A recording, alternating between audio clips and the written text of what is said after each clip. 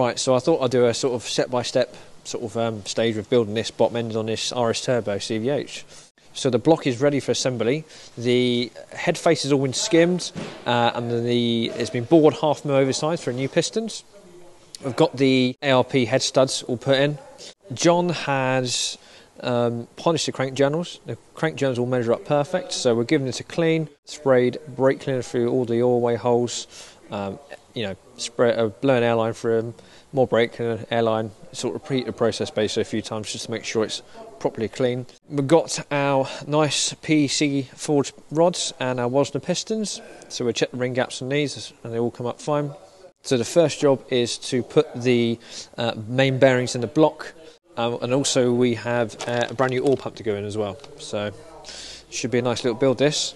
Right, so the main bearings in the block, it's worth mentioning that these bearings, uh, you've got two sort of style of bearings that come in the packet. You've got these bearings are the oil way holes and the channel, and these bearings without them. So the bearings with the oil-way holes and the channel has to go in the block so you can feed oil into the crank, as you can see.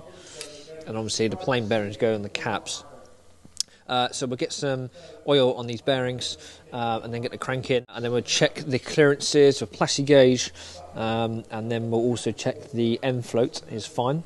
Right, so the clearance has been checked, all happy with that. Uh, so the next step is to get this thrust washer in. Um, so obviously there's two sides to this, or different sides. So you've got a flat side and you've got the oil grooves. Obviously the flat side goes against the block and obviously these um, channels have to face towards the crank to allow the oil to sort of circulate. So I'll see if I can get this in with one hand. Sometimes you can. Oh, that should be right. Beautiful. Right, so put this other one in here as well. That slides in. This sort of style of engines only has two thrust washers opposite in the in the block. Some have four, but this only has two. So um, you'll see on some of the engines, oh, a lot of new engines that the thrust washers are built into the centre main. This is more of an old style setup I've seen, um, and obviously you don't have one on the centre main cap, so um, it's just the way it's been designed basically. Right, so we'll load the main cap bearings up. So obviously the tag on the bearing has to fit uh, the tag on that side as well. So if we do that there, and obviously we've got an arrow here pointing to the, the front engine. And obviously you've got cap number one. So it's important to get the right cap on the right main bearing. Uh, if you don't then uh, you'll probably find a crank won't turn properly or crank won't turn at all. So we're uh, get these caps on.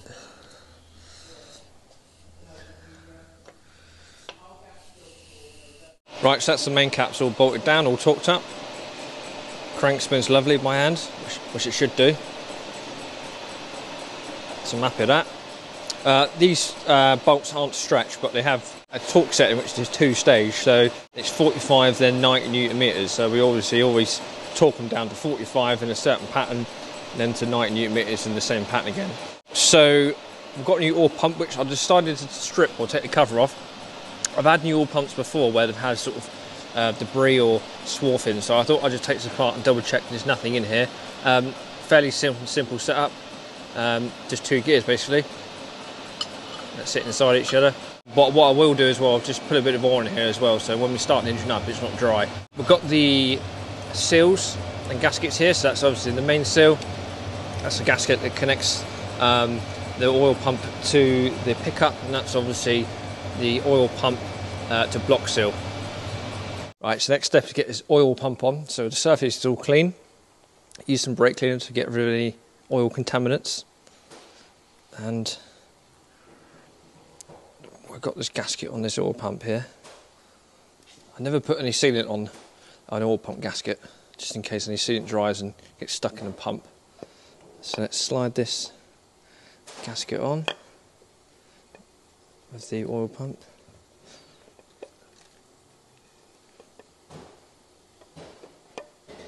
There you go. Nice new bolts to this oil pump as well.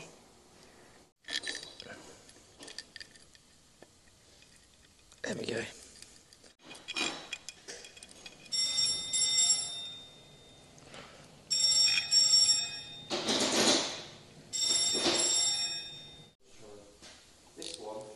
Right, so just nip these bolts up evenly. Don't go very tight. Only sort of six mil threads. Beautiful. You're on. Right, so we've got the pistons and the rods obviously together. Now, I just stuck the bearings in.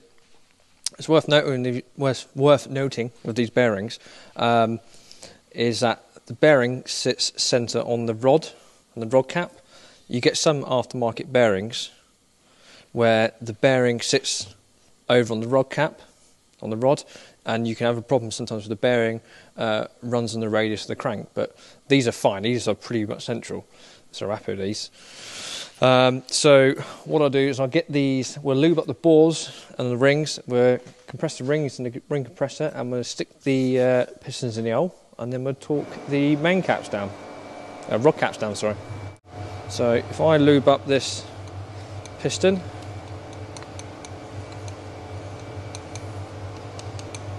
See, and the skirts on the ring. Always make sure the ring gaps are offset. They are fine. And then we'll stick this in the compressor. As on the last video I made about these, put your thumb on the compressor there so you don't end up rotating the uh, compressor on the piston which can damage the rings. We'll lube up the bore as well. Don't need very much, but just a little bit.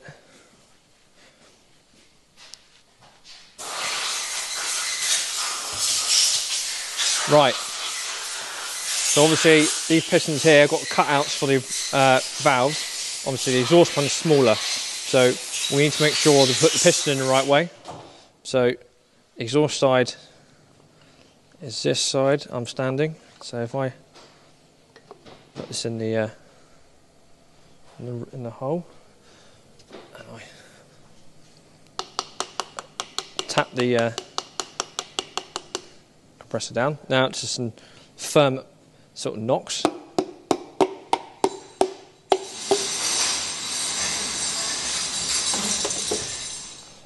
That one's in the O. Right, so we'll leave up the bearing with some oil.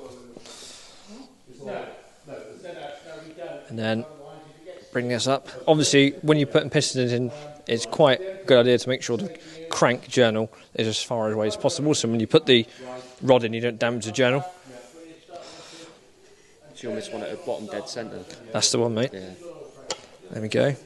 That bad boy's in. So we'll load up this bearing and put a little bit of oil on the uh, journal as well.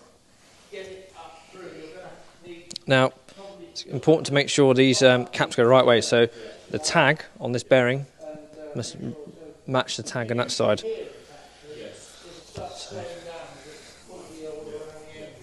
just make sure there's no dirt or anything in the uh, on the bearing or the uh, the journal.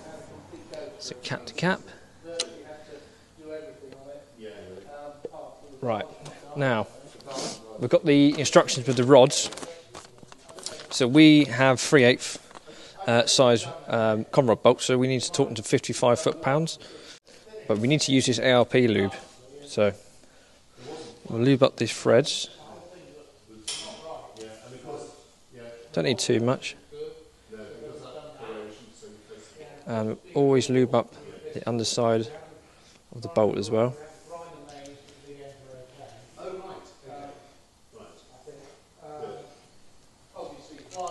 Screw that one in. Lube up this one as well. Will they usually, uh, once, once we've got it running, uh, does it need torquing down again? Uh, with those, yes, I think they do on these, There's not no straight problem. bolts, yeah, and uh, we put new ones of these in. so- Right. Yeah,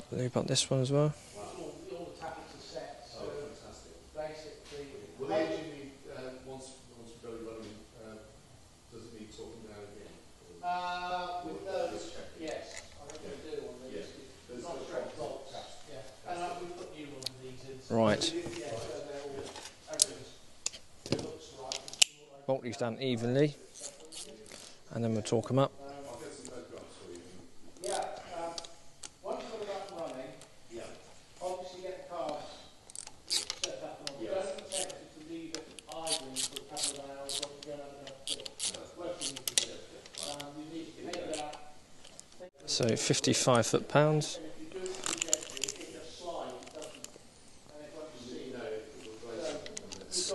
So I tried to torque these bolts up or do them up evenly, so not one really tight, one really loose. So this one, 55. Double check these. Beautiful.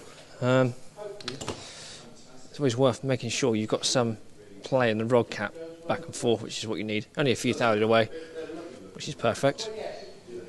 So that one's in. So what I'll do is I'll just spin this over in a second just to make sure it turns fine. I'll get the rest of the rods in, um, and then we can get the oil pump pickup on and this back plate on as well, and then we might be able to drop the head on. So happy days. Right, so that's the bottom end finished. All the pistons and rods are in, uh, all torqued up.